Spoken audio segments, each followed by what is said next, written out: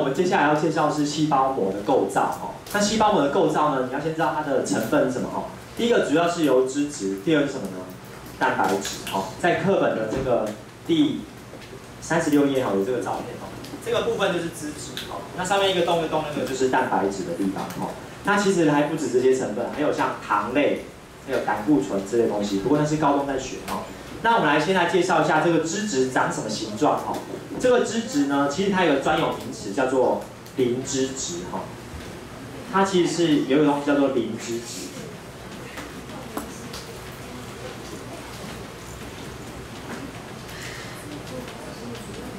我们的细胞膜其实是由磷脂质所构成，它是一种脂质，一种脂肪。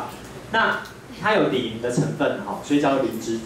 那它的形状长什么样子？你在课本上面可以看到，它是长这样子哈，一个圆圆的头，然后呢，底下有几条腿呢？注意看有几条腿，有两条腿，看到吗？长这样子，一条腿弯弯的，有没有看到这个东西？没有吗？有了，它只是两个两个怎么样？对在一起，知道吗？好，这个叫做磷脂质。它的头部是什么呢？就是磷的部分，含有磷的部分。那它的腿叫什么呢？腿就是脂脂肪酸的意思哈，脂脂质。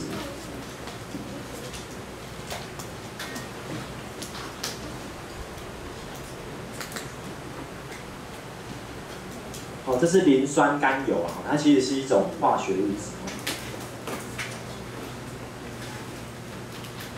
呃，同学，那这个不会考，这个是我补充的，好，我稍微讲解仔细一点。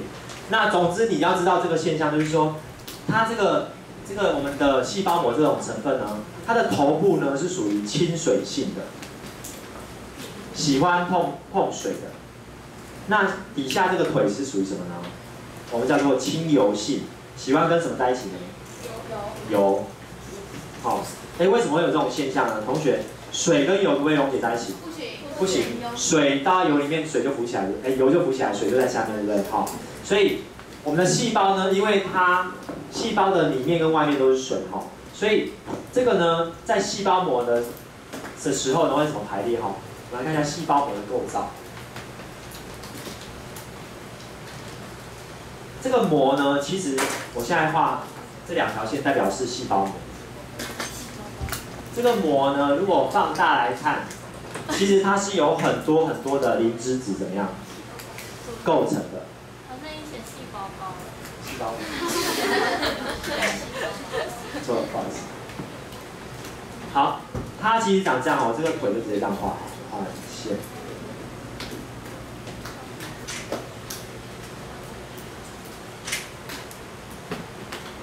那这个磷脂质呢，在我们身体，它会腿跟腿会怎么样对在一起？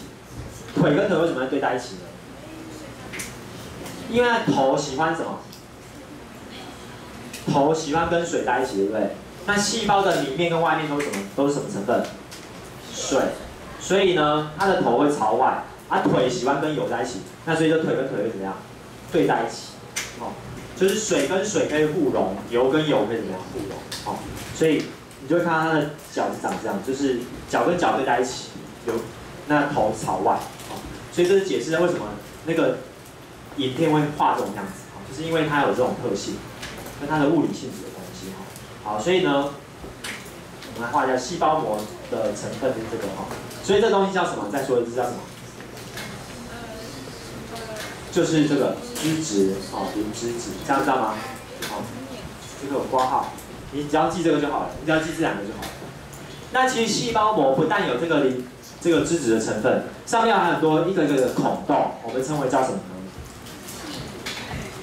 我把它称作叫做通道的蛋白，知道吗？哦，好，或是有很多种，那其中主要一种就是通道蛋白，就是呢，这个蛋白质它是中间有个什么呢？中间有个洞，它的目的是什么呢？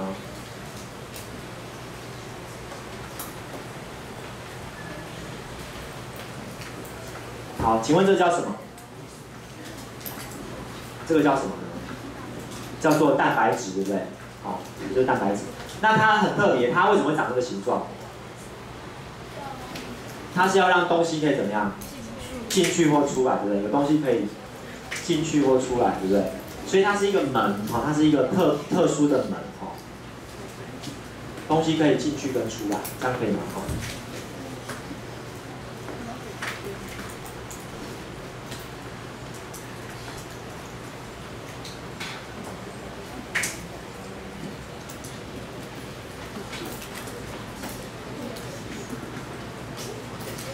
好，所以我我们画两两种。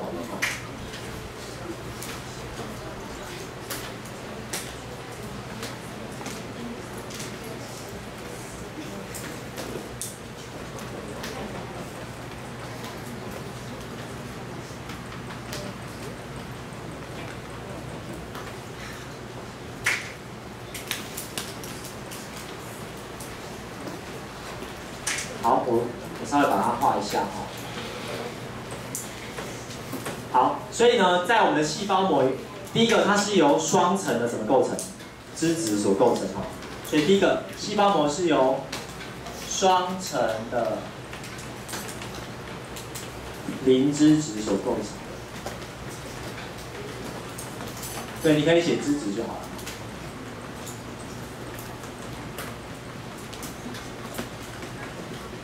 好，头朝外，脚朝内哈。所以这个东西叫做磷脂质，哈，这个，这东西叫磷脂质，好。那另外呢，这个绿色跟蓝色这叫什么呢？这叫什么物质？这是蛋白质。它的功能是作为通道用的，通道。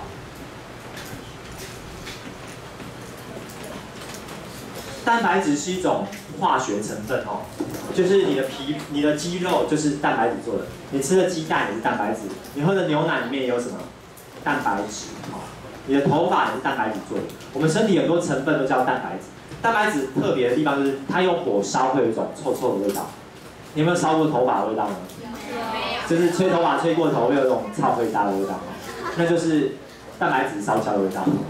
好，所以其实我们身体有，对，我们身体我们身体很多蛋白质。哈你身体百分之七十是水，那百分之二十就可能都是蛋白质，哈，啊，剩下是一些糖分，好，所以细胞膜的构造有这个，这样可以吗？这样了解吗？好，这是细胞膜的样貌。好，那我们接下来要介绍一下，哈，那东西怎么进出细胞呢？我们我们所需要的东西有哪些？细胞里面需要的东西有哪些？细胞要不要呼吸？要要氧气，对不对？不然的话，那个会怎么样？你的如果你的手没有氧气会怎么样？因为那个睡觉时候趴着睡觉，然后压到手，血液会麻掉，对不对？然后如果再再更久会怎么样？就要截肢了，知道吗？那手就怕手就死掉了哈。所以手需要氧气，需要啊，你那个要血液循环，它也需要喝水，对不对？因为你身体要的东西就是细胞要的东西嘛，你身体是细胞做的。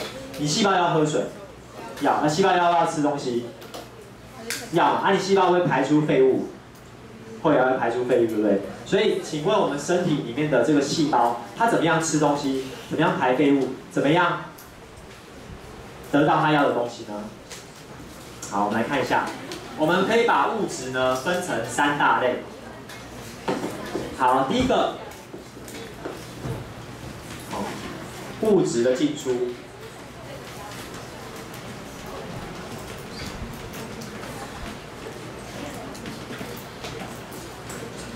好，第一个是空气类的。空气要怎么样进出细胞呢？细胞很小，可是空气更小，小到看不见。所以你就要把这个教室的门关起来，请问空气会跑进来吗？它会从门的缝怎么样穿进来，对不对？所以空气要不要通过这个门呢？不用，空气只要怎么样？空气基本上，它想要进到细胞很简单，怎么样？直接怎么样？直接穿过去就好了。好，所以空气呢，直接穿透，直接穿透细胞膜。就像我们学校的校门口，你可不可以说把麻雀挡在外面呢？它就飞进来了，它不管你，对不对？它管你怎么门禁。所以一样，空气也是一样，空气它不用管那个细胞膜哦，直接穿透细胞膜。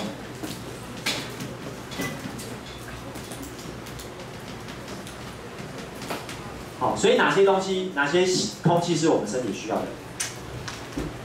氧气，对不对？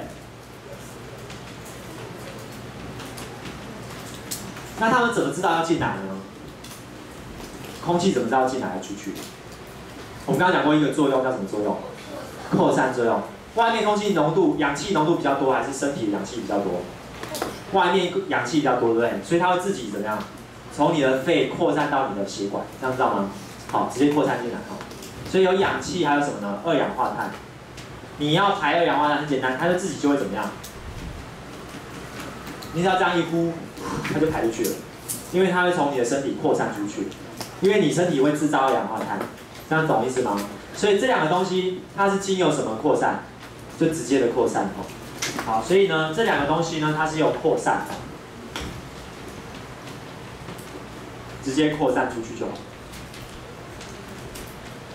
好，用扩散的方式，高浓度往什么？低浓度。好。第二个，我们身体还需要什么东西呢？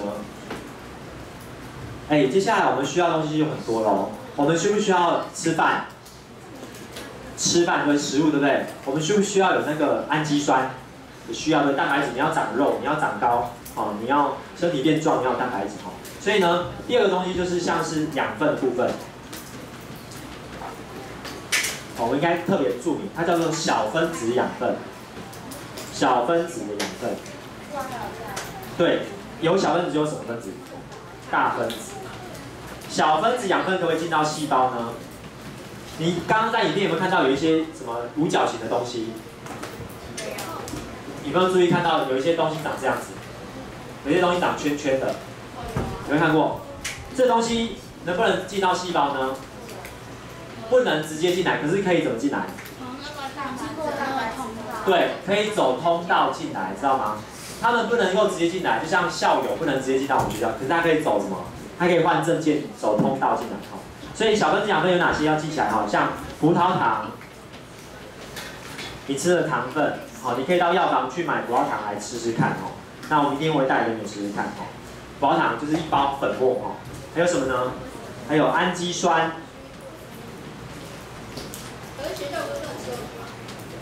没有，我只是让你们尝一点点，那是当做实验。还有呢，矿物质，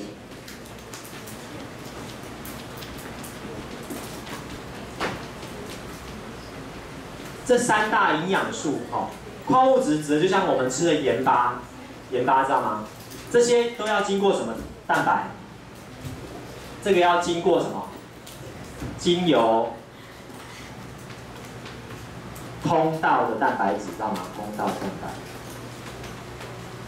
这些蛋白质很像通道一样，好，而走这个门才可以进来。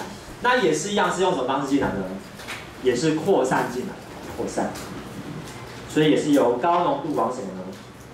低浓度哦。所以中午吃饭的时候有葡萄糖，它就会直接扩散到你的肠子里面，就可以吸收了。好，所以这是第二种养分。第三个大分子养分可不进来呢？你吃的淀粉。可不可以进到细胞呢？淀粉是超级巨大哦，比细胞要大一百倍、一万倍，可以直接进来吗？请问这个教室可不可以把飞机开进来？可是飞机怎么样可以进到这个教室？你知道吗？解体。把它分解，对，拆成小零件，可不可以拿进来？可以。所以同学，大分子养分是进不去的哦。大分子养分必须要怎么样？要被分解才能够。所以为什么你要吃饭？为什么你要把饭消化？哈，大分子养分呢，像是淀粉。你吃的白饭、淀粉，还有蛋白质，你吃的肉都不能进来。好，这个呢太大了，不行。啊，什么时候可以进来？把淀粉分解成什么？葡萄糖就可以进来。把蛋白质分解成什么呢？氨基酸。好，你要知道淀粉分解之后变成葡萄糖。你把那个饭咬一百下，咬完之后会怎么样？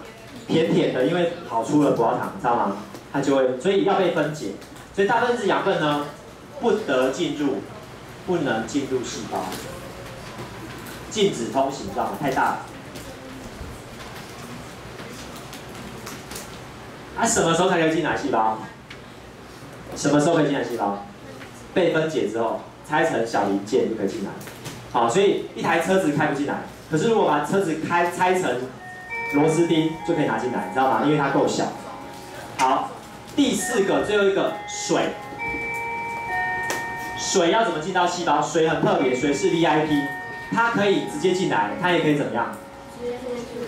对，第一个方式直接进来，第二个方式它它也它也有专属的什么通道哦，叫水通道。所以水的话，水是哪？水可以走哪几个呢？水走这两个。水可以直接穿透，或者怎么样？它有自己的通道，知道吗？对，或是直接有通道进来，这样可以吗？哦，水是 VIP，所以它可以直接穿透，或是走通道蛋白。好，所以以上就是三十六、三十七页的部分。好，好，那。